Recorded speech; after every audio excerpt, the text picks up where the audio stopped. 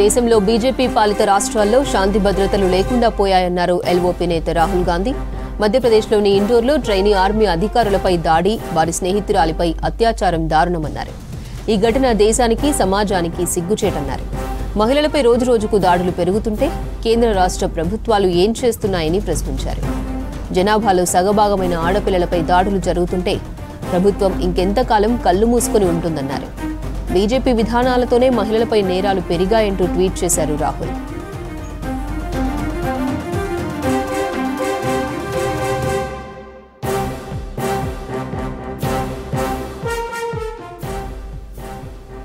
మహిళలకు భద్రత కల్పించడంలో ప్రధాని మోదీ విఫలమయ్యారన్నారు కాంగ్రెస్ నేత ప్రియాంక గాంధీ. మధ్యప్రదేశ్లో ఆర్మీ అధికారులను బంధించి మహిళపై గ్యాంగ్ రేప్ చేయడం యూపీలో నడిరోడ్డుపై మహిళను వివస్త్రను చేయడం దేశానికి అవమానమన్నారు.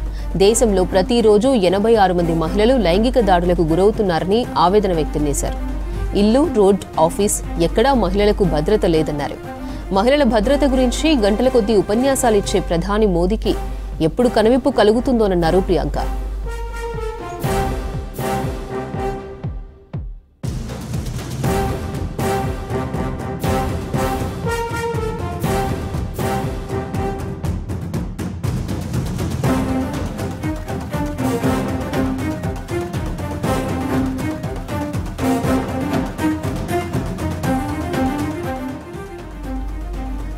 దేశంలో బీజేపీ పాలిత రాష్ట్రాల్లో శాంతి భద్రతలు లేకుండా పోయాయన్నారు ఎల్ఓపీ నేత రాహుల్ గాంధీ.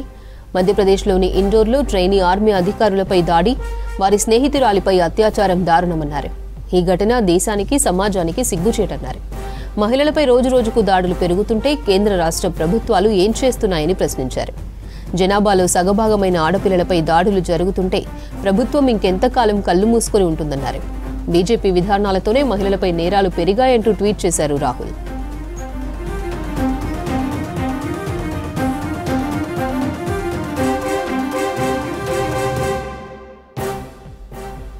మహిళలకు భద్రత కల్పించడంలో ప్రధాని మోదీ విఫలమయ్యారన్నారు కాంగ్రెస్ నేత ప్రియాంక గాంధీ.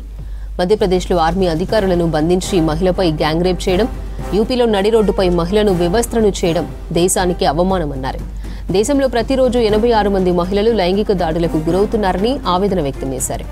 ఇల్లు రోడ్ ఆఫీస్ ఎక్కడా మహిళలకు భద్రత లేదన్నారు. మహిళల భద్రత గురించి గంటల కొద్ది ఉపన్యాసాలు ఇచ్చే ప్రధాని మోదీకి ఎప్పుడు కనువిప్పు కలుగుతుందోనన్నారు ప్రియాంక.